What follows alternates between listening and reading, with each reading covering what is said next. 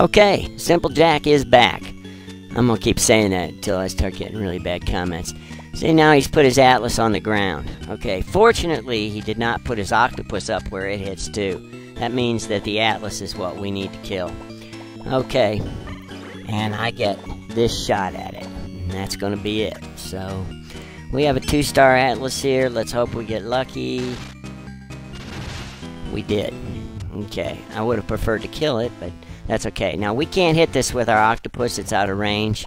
So what we're gonna do is we're going to attack this linnet. And the reason that we're going to do this is because if we can kill this linnet, I can hit his octopus with that lynx. I don't think we're going to be able to kill the linnet with the grizzly, but we'll give it a try. I like to leave that grizzly built up. Uh, sometimes he'll bring his giant up in there. Oh, well there's a lucky break. And I'll take it. Okay. One, two, three. And now his atlas is dead. His single atlas, by the way, will will sometimes take out two or three of my atlas. So uh, it's really a good thing to get rid of that. Okay. Now we want to get over where the action is quick as we can. But the giant is not as important as the Atlas, get our indirects up there, get our bison up there, and another lynx, because as you can see, the lynx really good to have up there. Okay, and now we'll pull these guys out. There's really uh, uh, not a lot to worry about here. Put your power up front. In the upper level of this game, you'll also take this factory with a panther and I leave it sit right there until almost the end of the game because he'll come in and capture that factory. Okay, he doesn't have his Atlas out, so there's no reason to send the Sacrificial Charlie, so I'm going to go ahead and give him his turn now. Okay, Simple Jack is back, and this is his new factory. He's gotten an Atlas and put it in there, two big tanks, and two other indirects. He'll probably send most of that down this way. Okay, uh, we're getting to where I'm gonna just uh, uh, quit showing you everything until the very end. I just get to pick my targets now. I want to take out indirects first, and I don't want to be aggressive with him up in this area. Okay? And I want to build up the stars on my indirects. So, I'm to go ahead and hit this tank. I don't really care if I kill the slagger or not. I want to be sure to hurt it, though. Oh, that's nice. Mm-hmm. Yeah. Yeah. Okay, I'm gonna go ahead and use this on the rabbit. I'm hurting him a little bit here, uh, because, uh, I want him to go back into the factory while I get more stars for my parts.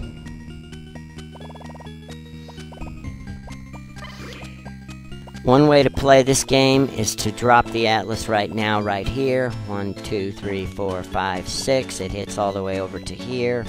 Um, uh, another way is to take it up a little further. Uh, for this game, I'm going to go ahead and take it up a little further.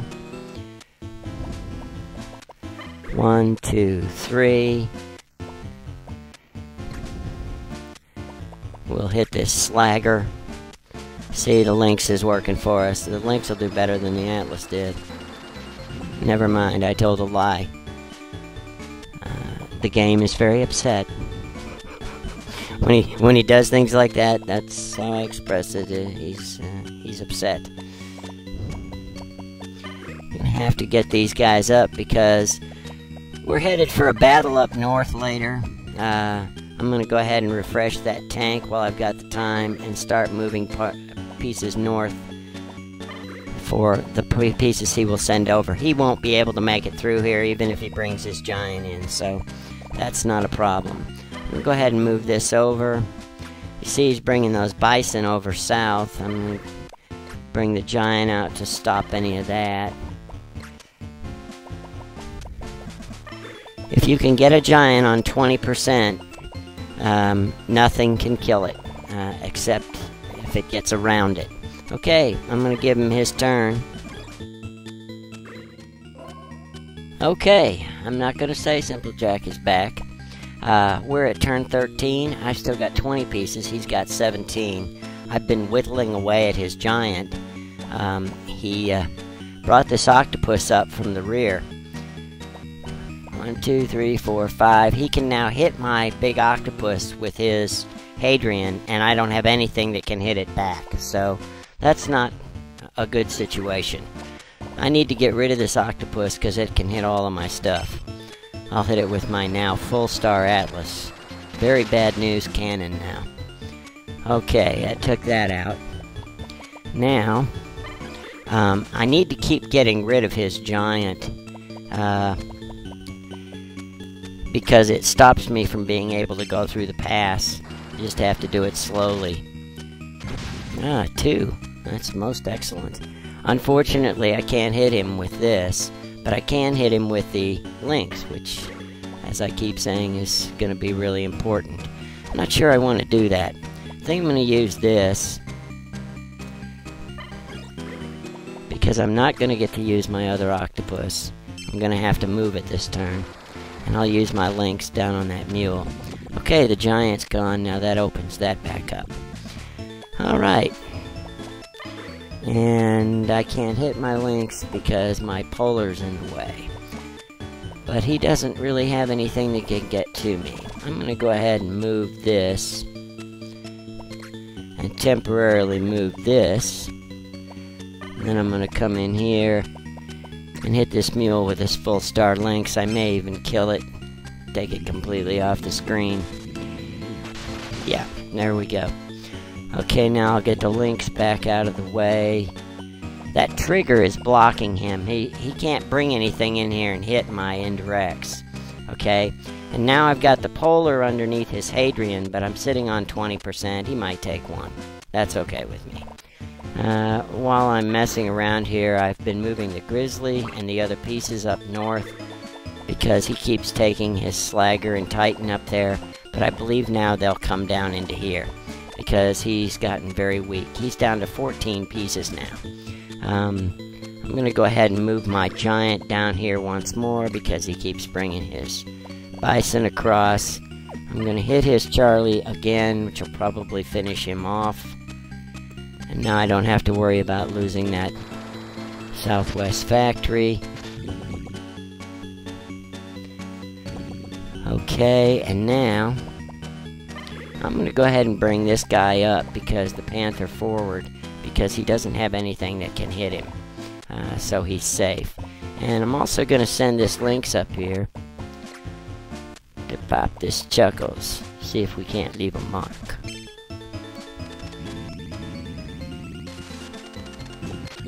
That wasn't uh, quite as much as I expected, but that's okay. Um, I'm going to leave the Bison down here. The truth is, I'd rather have him bring these tanks south where they're under my indirects. Okay, I'm going to go ahead and give him his turn. I'll see you at the very end of the game. Okay, uh, we're up at turn 21. I've still got 20 guys. He's got three, one of which is a trigger, one of which is an atlas. See, he's blocking me from getting over here to capture his factory. Uh, but that's not the way we're going to play this. We're going to go ahead and hit this. That atlas he put down up above has been kind of a problem. Only because I don't like losing men. Okay, his titan is dead now. Now we've got to deal with the atlas. The Since the atlas has a range of 6, the bisons won't make it in one move. Okay, but these are both decent bisons. Uh, I'm going to send them down here. But I'm going to leave a spot for my 5-star Lynx to come down here and hit this Atlas on 5%. That'll knock it down quite a bit.